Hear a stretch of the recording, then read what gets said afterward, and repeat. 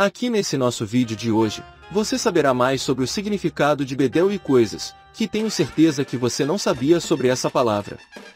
Mas antes de eu começar, seja bem-vindo ao canal Dicionário Online.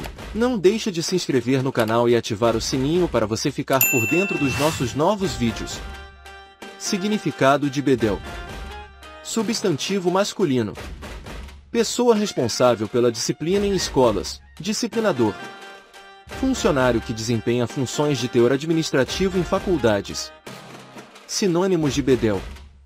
Bedel é sinônimo de contínuo. Definição de bedel. Classe gramatical, substantivo masculino plurais, bedês, bedéis. Feminino, bedela. E não deixe de se inscrever no canal, para conhecer mais significados de outras palavras. E agora irei deixar para você um vídeo que o YouTube está te recomendando e que tenho certeza que irá te ajudar também.